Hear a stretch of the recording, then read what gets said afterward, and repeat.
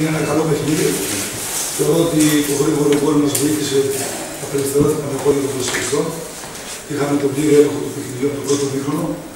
Κάναμε καλές φάσεις, είχαμε κατοχή, είχαμε θυμό, είχαμε καλές συνεργασίες μες στο γήπεδο. Αλλά δεν ήμασταν ουσιαστικοί και καλοί στην εκτέλεση. Στο δεύτερο μήχρονο θεωρώ ότι ο αγωνιστικό όρος βάλει ακόμα περισσότερο. Σε τέτοιο βαθμό μας μας δυσκόλευε γιατί είμαστε στην ομάδα που θέλουμε να πείξουμε επιθετικά και στο δεύτερο μήχρονο να έχουμε τον ίδιο ρυθμό και τις ίδιες συνεργασίες του πρώτου, αλλά ο, ο βασικός όρο όσο πήγαινε και πριν η ώρα ήταν πιο βαρύ, με αποτέλεσμα να δυσκολεύονται του προσφυγιστέ. Θεωρώ ότι ήταν μια σημαντική νίκη, η δεύτερη είναι στην έδρα μας συνεχόμενη. Θέλω να ευχαριστήσω και να δώσω μάλλον συγχαρητήρια στα παιδιά, και να δώσω και συγχαρητήρια στον κόσμο. Και εγώ τους ευχαριστώ γιατί από το πρώτο λεπτό το γήπεδο του Παναθηνικού πλέον θυμίζει τα παλιά χρόνια. Θέλω να είμαστε έτσι αγαπημένοι, ενωμένοι και να καταφέρουμε αυτό που έχουμε θέσει ως στόχο.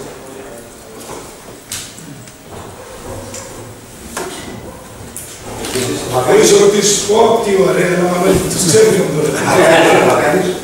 Ο Μπακάρης έχει ένα πρόβλημα με το μάτι, πήγε στο νοσοκομείο. Ναι, με το διάφορα με το μάτι. Θα δούμε και το κάθε Αν δεν είχαν κάτι σημαντικό, πώς το λένε, οι Ο Μπακάρης, όχι, από χτύπημα πρέπει να ήταν.